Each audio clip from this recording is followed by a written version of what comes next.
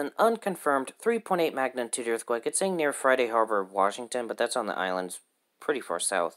Um, but this is a whole lot closer to Vancouver, British Columbia.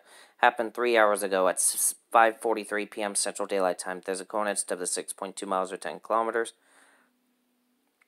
with 12 felt reports submitted. Um, again, gonna have to do this with that, and it's really annoying. Anyways, if you felt this earthquake, let me know in the comment section below and from where. It clearly happened in the Strait of Georgia or in Boundary Bay, whichever you want to call it. It's near Point Roberts, one of three locations in America where you have to go through um, Canada to get to. Um,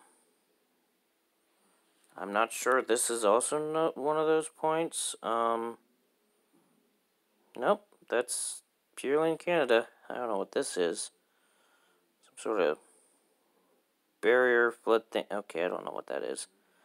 Um, but that is Canadian territory there. Um, but yeah, Point Roberts, Roberts, there's a harbor there. Um,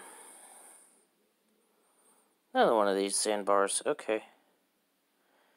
Um, but yeah, I'm surprised there's no ferry to get from Point Roberts to uh, other parts in the U.S., like Birch Bay or Blaine, maybe that I'm pretty sure Blaine's in the U.S. Um, but anyways, that does seem to be it for right now. Stay safe. See you in the next video. Bye.